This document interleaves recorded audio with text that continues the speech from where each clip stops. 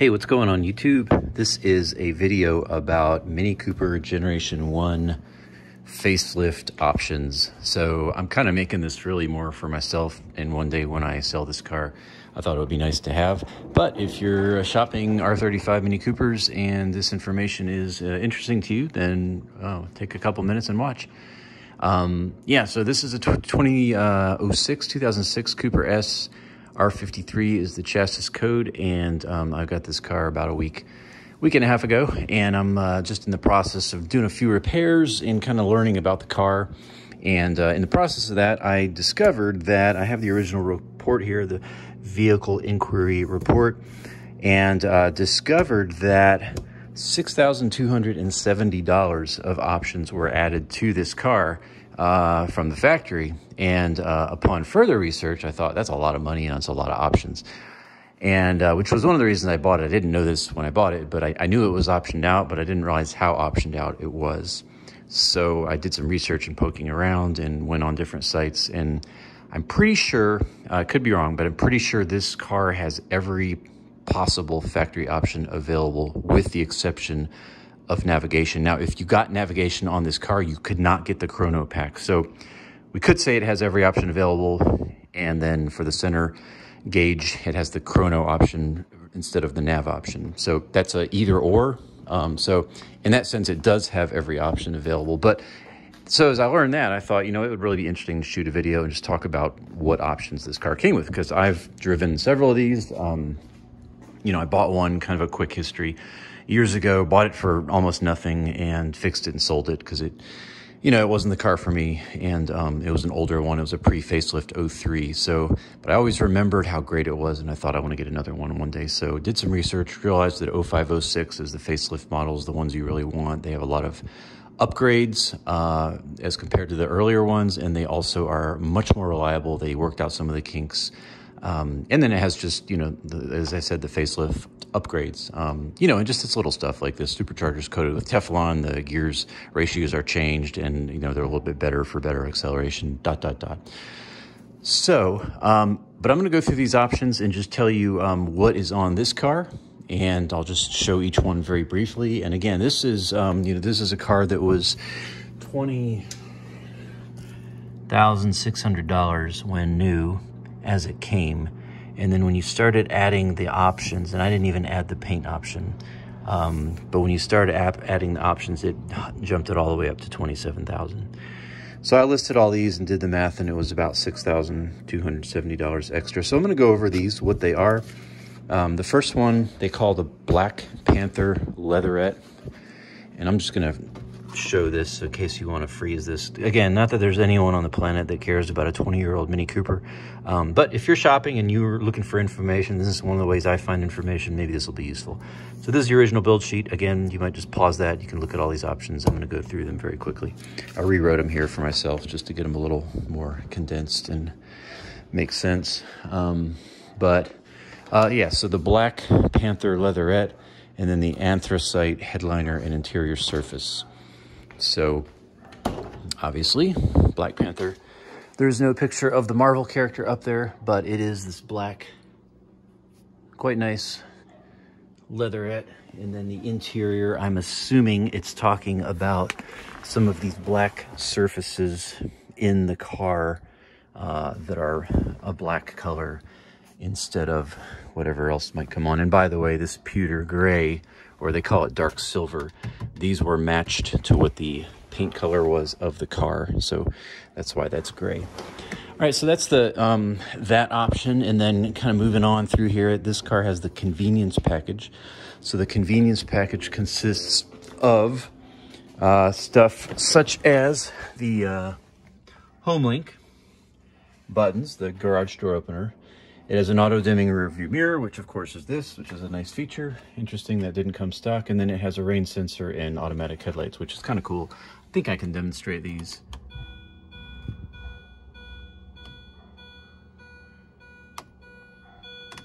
Oh, I can't. Oh, well. Uh, in any case, I guess the keys have to be in for that to happen. And then the premium package uh, is the next package. The premium package, you get multifunction steering wheel. So the steering wheel, this controls the tracks and the volume for the whatever you're playing. Uh, not sure what RT does. Haven't just tested that yet. This uh, phone obviously is the you know make a call, and then you have over here your controls for your uh, cruise control, and then the glass moonroof, of course, right here.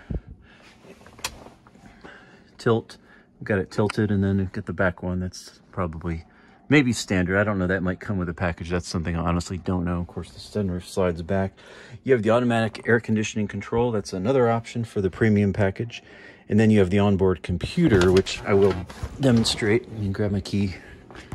Should have planned this out, but as usual, I don't. I just kind of get ideas and think, let me make a quick video of that. So the onboard computer, let's just be honest, it's pretty useless, but um, Oh, and I can show you the headlights now too. So you can see how it moves when it turned on the first time you saw it leveling itself, which is pretty cool.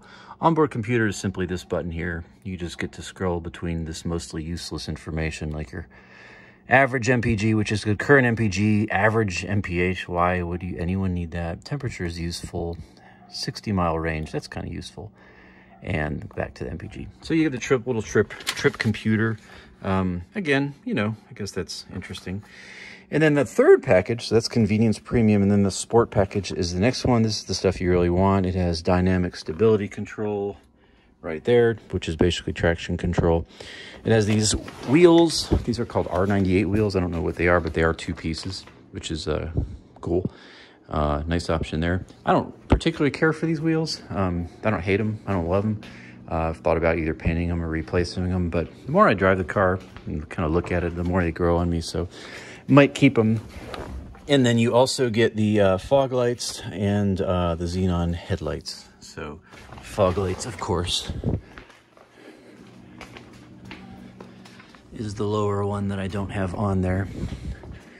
And uh, that's the sport package. And then another cool option this car has, which um, is really cool, and I have yet to test it or experience it, but I have yet to take a corner super fast, but it does have the LSD trans, uh, LSD, where is it?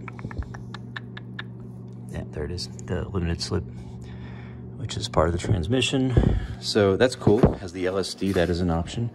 And then kind of rounding out these uh, options here, the black bonnet stripes was an option.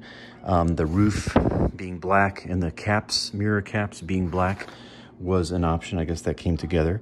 Uh, the center armrest was an option, which is really great. So it comes with this center armrest with the slider, which is a little like a little bit of a pain because no matter what you do, this thing slides around if you have your arm on it. So I'm probably going to come up with some kind of mechanism to keep it closed just because that's a pain in the butt. Heated front seats right here. And then the, uh, this is one I really like, the Chrono Cockpit Chrono package is what this is called.